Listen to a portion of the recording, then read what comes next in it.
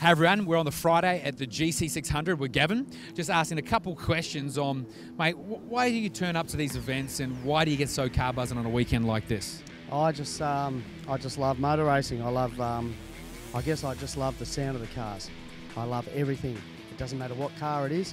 I am a V8.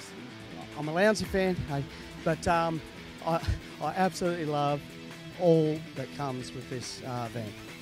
Nice, nice. And that, that sound, it's unmistakable. Like we heard it just before when the cars first stood up. It's like it makes a hair stand up on the back of your neck and, and it just makes something stir inside. It's like you're a little kid all over again. Mate, um, I'm staying at the Meriton at Southport, and I could hear it from there. And I could not. I just wanted to get out of bed and come here. It was awesome.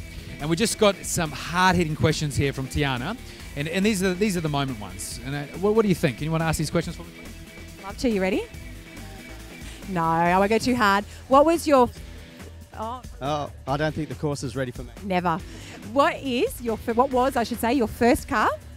And what is your most embarrassing car moment? Okay, the first car, the, tied in both. Uh, VW 1600.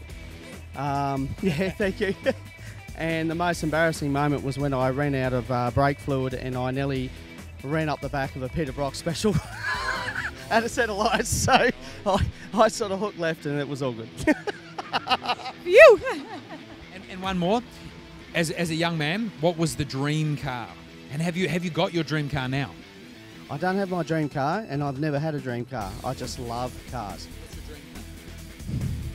Do you know what? XR6. They go. They go well. They drive well. I know it sounds silly, but it is what it is. It's a classic. You can't you can't knock it. Thank you very much. Legend.